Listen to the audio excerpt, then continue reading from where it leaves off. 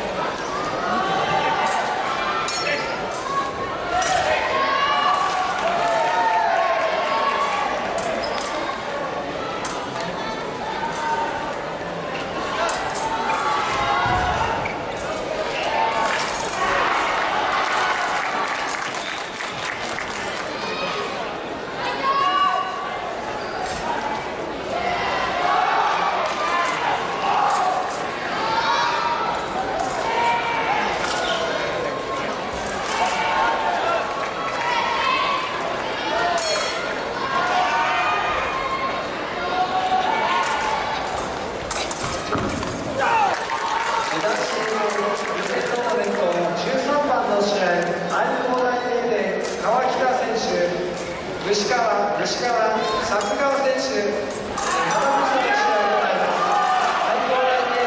最高川北選手吉川桜川選手は7ピストに入ってください。続いて14番の試合法政機構平野選手一打席以大久保選手は8ピストに入ってください。